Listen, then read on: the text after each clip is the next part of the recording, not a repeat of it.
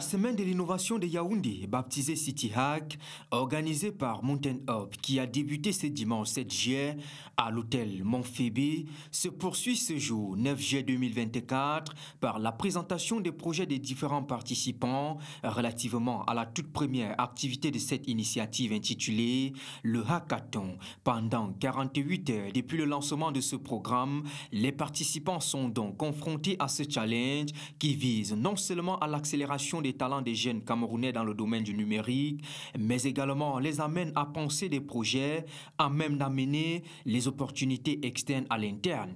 Au total, 25 groupes constitués chacun des cinq participants participent à ce gros challenge qui s'achève ce jour et donc la proclamation des trois groupes vainqueurs avec en plus un prix spécial pour un groupe uniquement constitué de jeunes filles visant à encourager la numérisation de la jeune fille camerounaise sera dévoilée ce vendredi à la clôture de ce programme de City Hack. Et c'est la fin de ce journal. Mesdames, Messieurs, votre fidélité nous honore. Retrouvez-nous en repli sur l'application Economa disponible gratuitement sur Play Store et App Store.